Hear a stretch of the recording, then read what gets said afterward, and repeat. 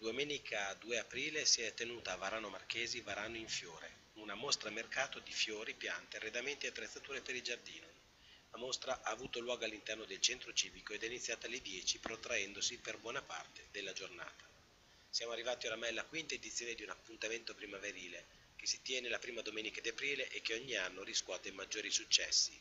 Anche quest'anno, come gli anni precedenti, la gente che è arrivata nella bella frazione di Medesano è aumentata di numero nonostante il meteo non promettesse nulla di buono.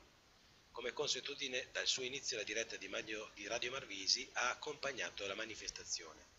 L'evento, organizzato dalla Proloco di Varano Marchesi, ha visto la presenza di bancarelle di fiori e prodotti tipici, bancarelle di associazioni di volontariato, come quella della Scuola d'Infanzia di Varano Marchesi, della parrocchia di Noi per Loro, bancarelle di oggettistica e alcuni stand con animali, particolarmente apprezzati quelli di cuccioli di cane come Samoiedo, Pastore Tedesco e Golden Retriever.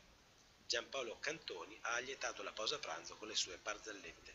Per l'occasione è stato possibile anche visitare il Museo della Canapa che si trova all'interno del centro civico. La tensostruttura presente nel centro civico costruita diversi anni fa è stata al riparo di tanti visitatori che attorno alle 16.30 sono stati colti di sorpresa da un breve acquazzone.